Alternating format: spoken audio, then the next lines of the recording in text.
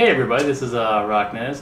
Today I'm just going to do a quick unboxing and my, my humble opinion on the Jaybird Freedom wireless Bluetooth earbuds.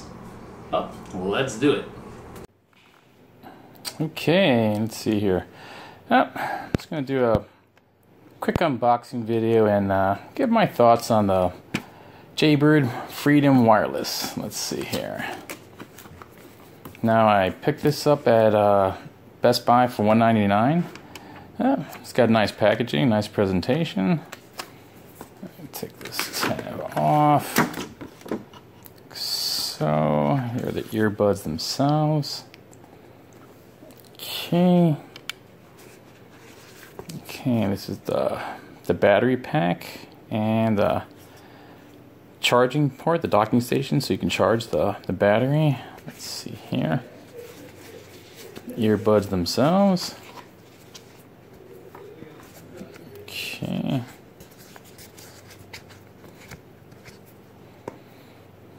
Inline remote.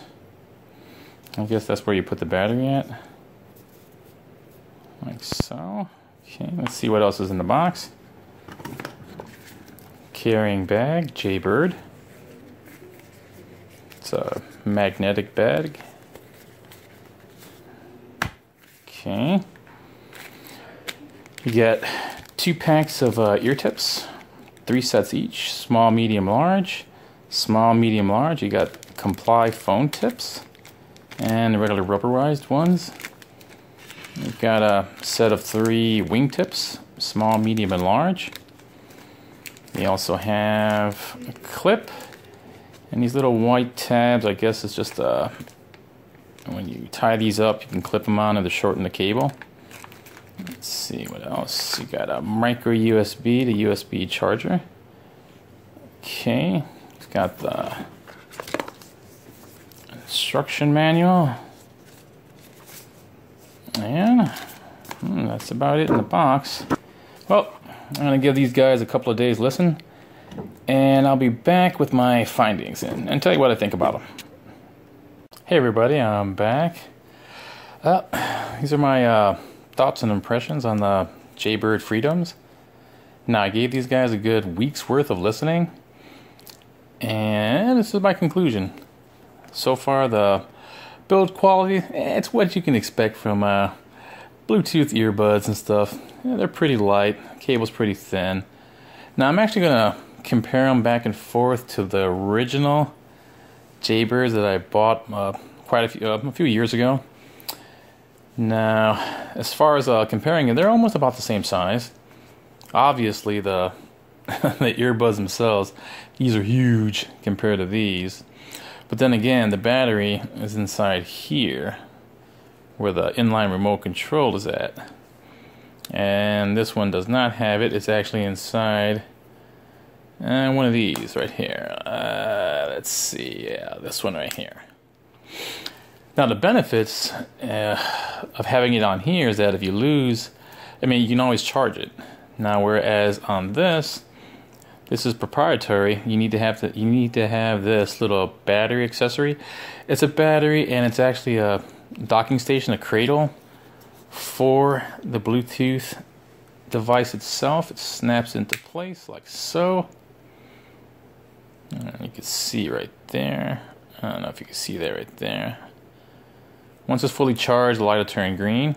But if you don't have this, you can't charge it. And at the time that I bought this, I didn't see any extra battery packs. So it'll uh, it'll behoove you to, to buy at least one more just in case you lose this, because if you do lose this, you're screwed.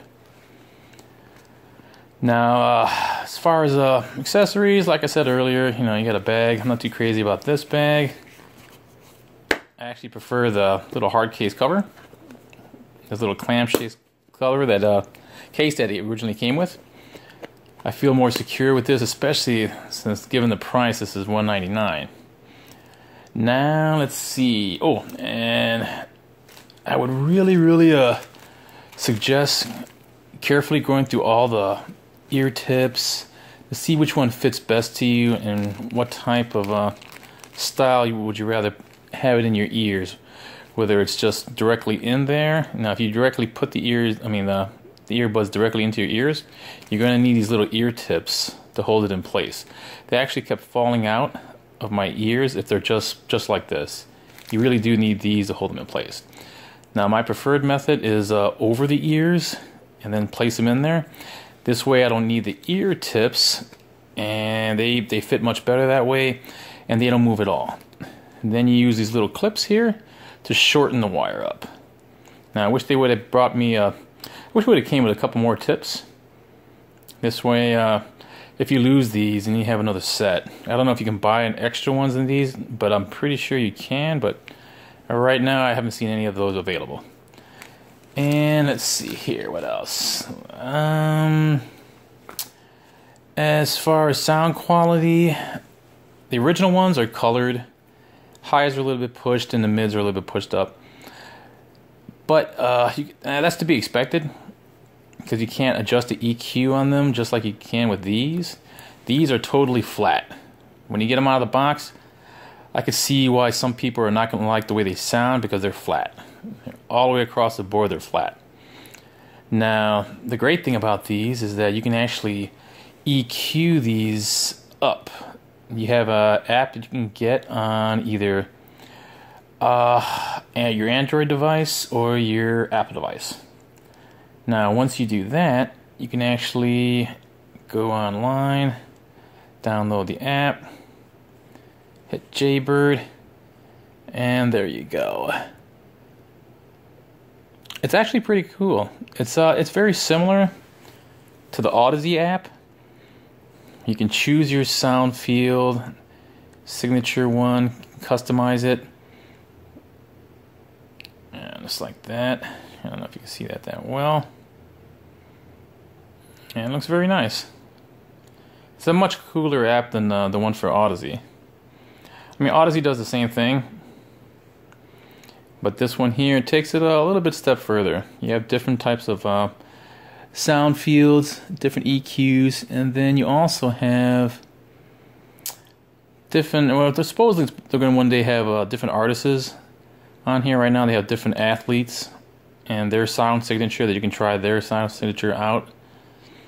Let's see here. This is Lauren Fleshman. This is her type of sound signature. Like so. Now, it's pretty cool. I like this much better than the Audeze ones. You can actually see this is the Audeze type right here. It's pretty plain Jane, but also it's the same as this. If you save your EQ preference, it'll download it onto the device itself. So if you take your device and put it on a different device, you'll still have that saved uh, uh, EQ sound on your device, which is pretty cool. And you can always set it back to default settings later on. Let's see. And as far as uh let's see here. Mm, I really do like these uh earbuds. Uh, I'm a little bit biased because I do like Jaybirds. And they're pretty sweat resistant. I've used these for uh, about two or three days out of the week uh, walking around in 90 degree plus weather over here in Florida. And they work extremely well. They're very comfortable, they're very light. I mean, once you have the spare battery on here, you do notice that the, the weight's not heavy, but you do notice that it's on your ear. Now, do I recommend these for 199 um yeah i do i actually think they're worth 199 but if you can get them cheaper then i would go the cheaper route maybe 149 like the original ones were then that would be better. But those are my uh, thoughts on these and hey i really like these and thanks for watching i'll catch you on the next one